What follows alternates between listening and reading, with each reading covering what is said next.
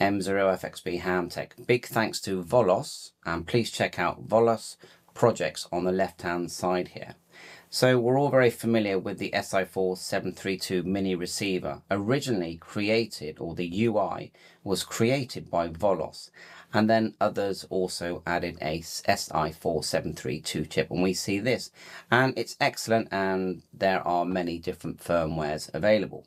There is a new design that's been released by Lilygo, and Volos has created some new firmware for it.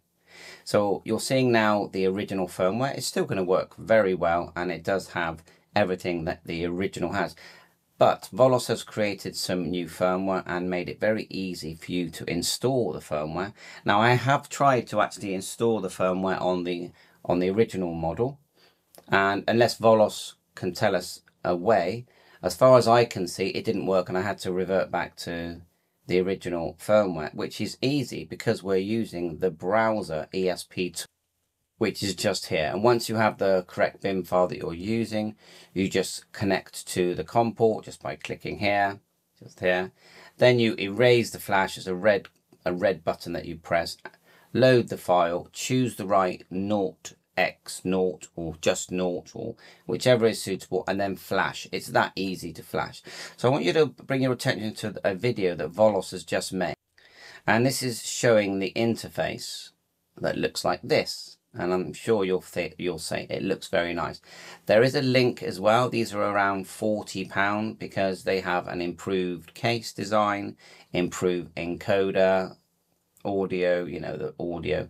So, and Volos himself um, has been testing this and thinks it's a very good device. Also, check out the projects, of course, that are listed here and consider donating to Volos.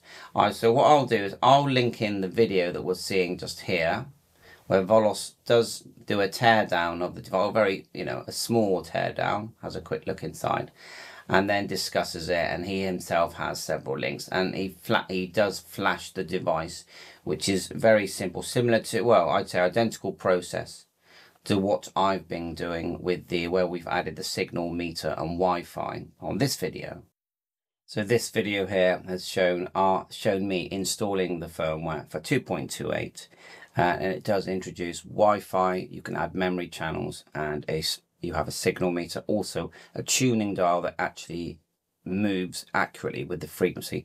You can also import the EIBI database and that adds a lot of memory names to the frequencies. So other than the RDS, and of course they all have RDS. So I know it's a lot to take in, but consider it and a massive thanks to Volos. Very much appreciated and your work you know is appreciated and um, the fact that he came up with the UI, the original UI, and now we've all got these different receivers around. Uh, the only thing I'll say to Volos is if there is a way to flash the original device, the original SI4732 with the firmware that, that is going on this Lilygo, so that existing owners can um, can use the UI that you have created. Please show us how. I did add it. I tried the the naught and the naught times naught. It does go in, but the screen stays black. But luckily I was able to just re-add the, the other firmware that I've been using. And I'll put the links in for that firmware if you've got the original version. I'll just put the link in for my video and everything's in there. Thanks Volos and thanks to everyone for watching my channel. Please hit the like and subscribe. 7-3.